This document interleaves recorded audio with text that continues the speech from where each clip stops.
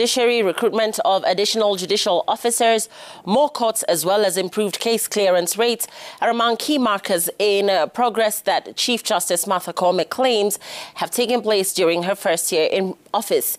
And a Citizen TV senior reporter Seth Olale highlights CJ Koome, who presided over the judiciary's inaugural prayer day outside her chambers in Nairobi, called upon judicial officers to exercise the highest standards of integrity as enshrined in the institution's code of conduct in order to maintain public confidence.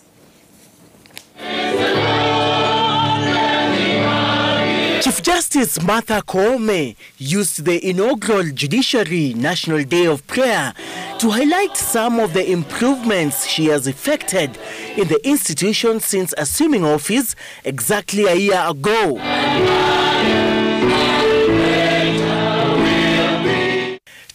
Of the CJ's notable changes is the operationalization of the Judiciary Fund and increased budgetary allocation by 1 billion shillings from 17.9 in 2021 to 18.9 billion shillings in 2022.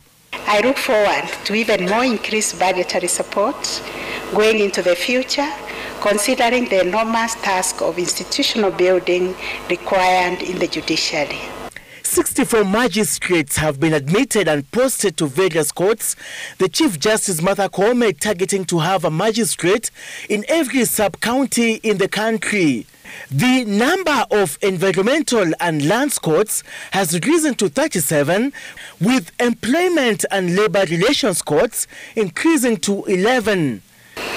We are hopeful that by the end of this year, we will have significantly expanded the reach of the High Court to nearly all the counties and re-establish the operations of the Court of Appeal in Nakuru and Nyeri.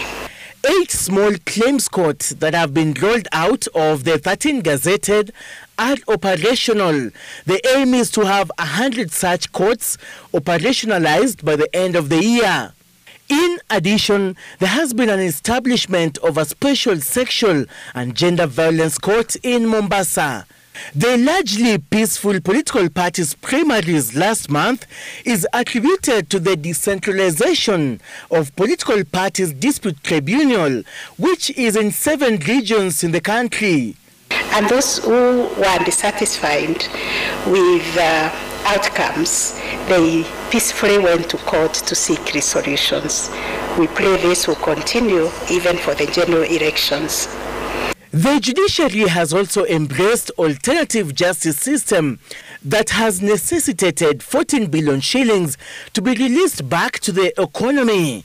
The rate of case clearance has shot up to 87%, meaning 320 cases have been concluded out of the 375 cases filed. Other notable changes effected by the CJ include operationalization and revision of the Judicial Code of Conduct, establishment of a judicial police unit, 54-acre allocation for construction of a judicial academy, and automation of the judiciary through the e-courts. We are calling upon ourselves to use this day to remember and reaffirm our commitment and to remind us of the oath of office that we took on the day that we all assumed office. The National Day of Prayer outside the Chief Justice chambers was marked across the country.